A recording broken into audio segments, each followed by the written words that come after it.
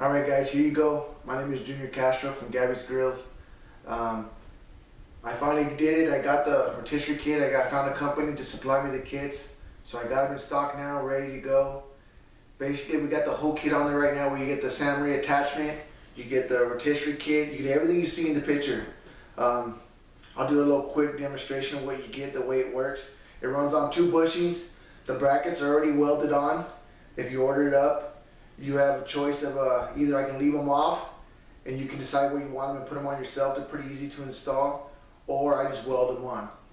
Um, simple the way it works. You get the motor, the spit, the forks, handle, the counterweight, the motor, the motor stop. And the way mine works, mine works a little different than everybody else's. It runs off two bushings. The two bushings would keep it in place.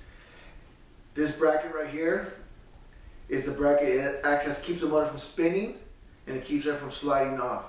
So basically, if you were to click it on, it's pretty simple. It's very easy. I only use the counterweight when I'm doing like chicken it. When you put it on the spit, the meat's the meat's kind of crooked. So basically, you can use this, the counterweight, to keep it spinning at an even pace. Um, it's pretty simple. I got this idea from uh, Joe from, from the Barbecue Pit Boys out in Vegas, uh, Black Hole chapter.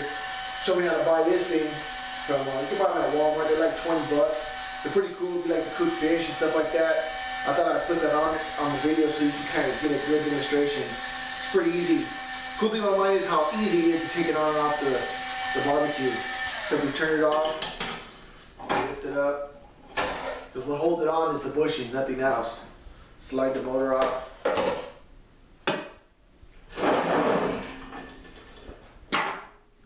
These are pretty cool. You just open it up. Put your meat on there. Slide this one back. Leave this one set. Slide it back. Maybe a little harder.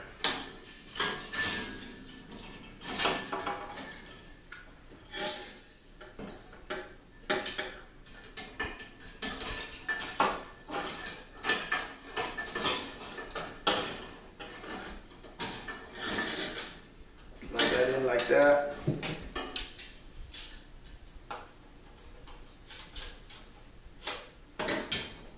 Voila, then you got it perfect. Sits in there, you have your meat in there, get it even. So you can easily walk around with it. It's too easy.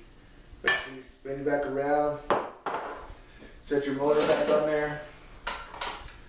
And you see how the motor stop works, goes that way and that way, keeps it from spinning and locking on. It's kind of hard for me to do it backwards. I'm trying to make the video and so everybody can see it. I like to put it in the middle. You can drop it down lower, but it'll hit the table, so I can't show you that. It's pretty simple, it's pretty easy. For this style, you don't need the counterweight. Like I said, you don't need it for like chicken. I thought it was cool to give you an idea of how it works, how simple it is, and how easy it is. It's, it's too easy. I cook fish this way, I learned that from Joe. Man, that's the best taste of fish I've ever got. I'm really impressed how well it cooks. Um, like I said, you receive everything you see here. I'm working on getting my wife to put on there just the rotisserie kit so you guys can whoever you bought a Grill, you can order and add it. I'll be showing a video on how to put the brackets on. It's pretty simple. Um, I just gotta get her to go on and do it. You know, she has a full-time job and she works and she has to do it after hours. So basically everything you get, you see right here, you don't get this part. You don't get the thing, you can get those at Walmart for like 20 bucks. But you get the motor stop, the motor. The motor is pretty cool because it's adapter, and it comes with adapter, and it's and it's battery operated. So you can do either or. So if you're outdoors, you're at a park where you don't have any kind of electricity available, you can still rotisserie. I've made a couple videos where I actually cook a little bit of food on top, or I just use it to keep them warm. Um, yeah, it's, it's, it's a pretty good deal.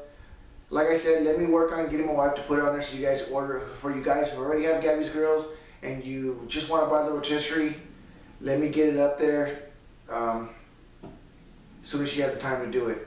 But uh, hope you enjoyed my video. And, and if you have any questions, email me or shoot me a phone call. I have no problem. I, I do this all day long. I answer the phones and build a barbecue. That's our race car parts. You guys are welcome, more than welcome to call me. This is something that I enjoy doing, so you're not bugging me. If you have any questions, just give me a shoot me, shoot me a quick email or shoot me a phone call. I'm open to both. All right. You guys have a great day, and uh, I'll see you guys soon.